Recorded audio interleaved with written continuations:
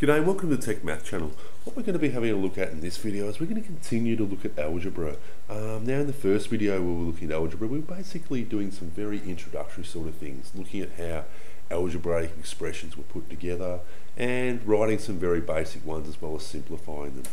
So this sort of leads on from there where we're going to have a look at how to actually write some algebraic expressions from worded sort of problems before we get to the next stage of algebra. Now, I'll give you some examples here. We've only got a, a few examples here, but they they sort of sum up what we should be up to so far. So say we have this sort of question. Ella has four bags of apples.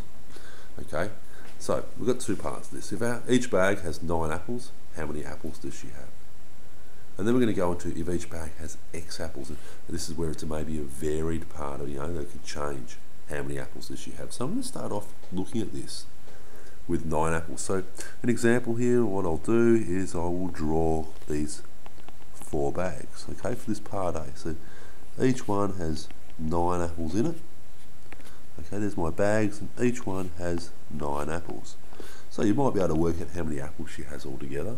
She has four groups of nine, so four times nine, which is equal to 36 apples. Okay, now let's do this algebraically. So, so what we say what we actually have now is we have these four bags. So I'll draw these four bags. Okay, one, two, three, four. And instead of actually knowing that they have nine in it, we actually now have this variable amount in it, okay? So it might be one apple in each bag, it might be five apples in each bag, it might be nine apples in each bag, it might be 126 apples in each bag. But we're looking for an expression that covers this, an algebraic expression. So like this one was up here was 4 times 9. Instead of this, we're actually going to change this to 4 times x, okay? There's four groups of x. And this is how we would write it, okay? Which we'd actually write even closer as 4x. Okay, so this is the way we can write an algebraic expression with multiplication. We'll go to another example.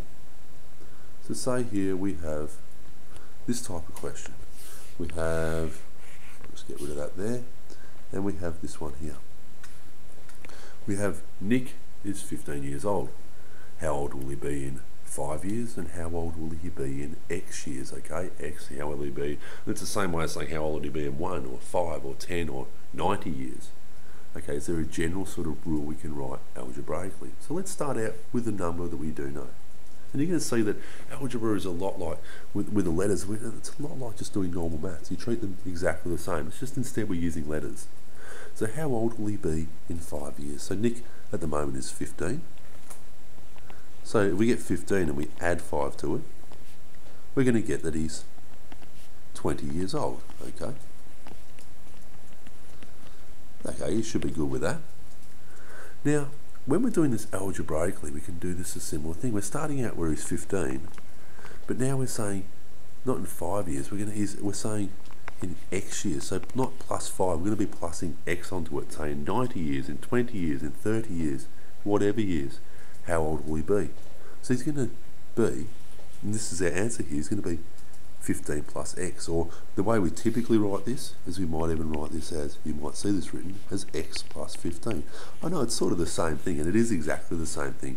They just tend to like to write these uh, pronumeral, these algebraic expressions first, and they tend to like to put these ones with no letters in them last, okay? So that's a way that you can write this algebraically. By the way, each of these is equally as correct, okay? So an example of this we could then say a bit later on, we could say, well, what happens if x is 12 years? Okay, well, how old will he be in 12? So we could say x plus 15, he will be 12 plus 15 uh, plus 15, and he would be 27. Okay, we could say, how old will he be in 21 years? Okay, 21 plus 15 equals 36. Okay, and this is where algebraic expressions are really powerful because you can sort of create rules where you can create rules which you can end up just substituting values in without having to do the same calculations again and again and again and again. Okay, what about we have a look at another question here. We have Peter and Alan and they have $30 between them. If Peter has $12, this is the first part, if Peter has $12, how much does Alan have? And the second part is if Peter has X dollars. Okay, X dollars, how much does Alan have? Okay, so let's have a look at this first part. If Peter has $12, so start with it. Between them, they got $30. They 30 and Peter's amount of money equals, okay, $12. So how much does Alan have? Between they have 30. So 30, we can take away 12, the amount Peter has, to work out how much Alan has. Okay, so 30 take away 12. And if we do this, we get the answer of $18. Okay, and yes, I haven't put dollar signs in there. I possibly should, but I'm not, not going to do that for the minute.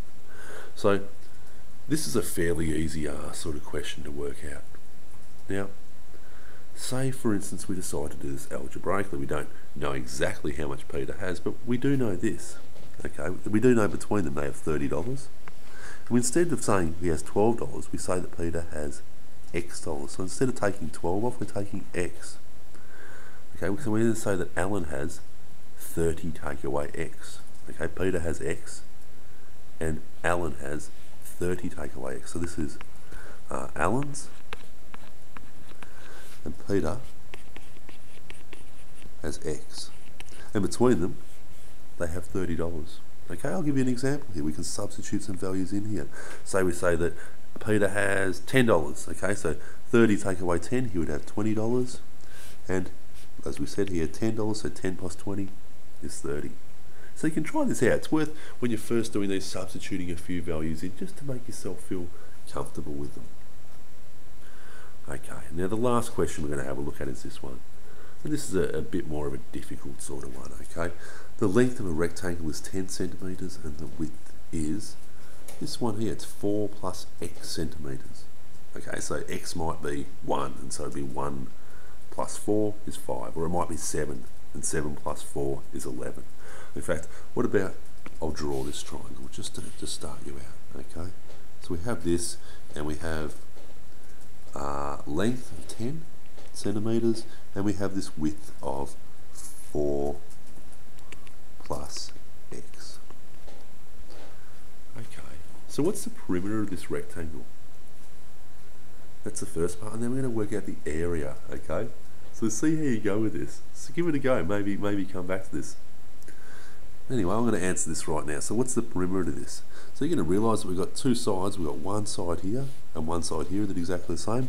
And that's going to be 10 plus 10. Okay, this side and this side. We also have this side here and this side here, which is, I'm going to add this to 4 plus x and 4 plus x. Okay, so how are we, we going here? Now we can actually group all of our like terms here. So we can group out uh, just our normal numbers as well as our x numbers here. So let's do that. We have 10, 20, 24, 28. So I'll write that in, 28. And we also have 1x, 2x. So 28 plus 2x. And that's the perimeter of this rectangle. I know, it seems a bit strange, doesn't it?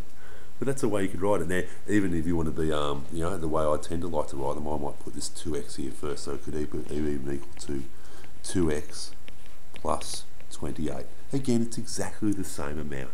It's just written a bit different. I like to put the ones with the uh, pronumerals first. Okay. So how'd you go with that? Okay, and you could, again, you could substitute values. If you're not too sure, you could actually substitute values in, and we could say, for instance, that what about we make this x here 1? So 10 plus 5 plus 10 plus 5, it'd be 30, yeah? So does this work here? 28 plus 2x, 2 times x is 2 because x is 1, so 2 times 1 is 2, 2 plus 28 is 30. Okay, so this expression works. Again, substitute a few values in, check it out for yourself. Okay, what about the area of this rectangle? Alright, this is a bit more difficult now. How do we work an area? We go to length times the width. Okay, so let's do this. The length, which is 10, times the width, which I'm going to group it together for the minute, which is 4 plus x.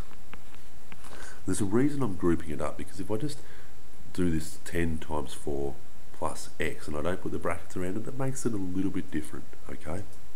So if we were to do this, we could actually leave this for the start and, and I might even, uh, no, actually I'll, I'll take it the, the next bit, but the next video is going to be looking at how you can actually expand this a bit further. So we could actually end up with a value that looks like this, 10, and just without putting the times there, we can put them straight next to each other, 4 plus x. But what we could also do is we can actually expand this out further. This is what we're going to have a look at in this next video. The way of actually expanding these sorts of expressions. We end up with 10 times 4, which is 40, and 10 times x, which is 10x. So we end up with 40 plus 10x. You might even then change this around and get the answer being 10x plus 40. Now that last step threw you a little bit. Don't get too worried about that, okay? We're going to have a look at that in the next video. Uh, title of that video is going to be expanding two factors, okay? So anyway, hopefully that's fine with you. Now, if you're not sure of this, and you want to you, you want to uh, double yourself and make sure you're getting the right answer at the moment. What about we substitute some values in here? So say we actually said x here, one two. Oh, let's make it two now. Ten times four plus two, 10 times six. We have an area of 60 centimeters squared. Does this work here? 10 times 2 is 20, plus 40 is 60. So you can really check your answers by substituting in values. Anyway, hopefully that was some help. So the next video we're going to actually look at this type of uh, expanding these types of brackets, okay? So if you get a little bit stuck on that, don't be too despondent. Have a look at this next video. I hope to see you then.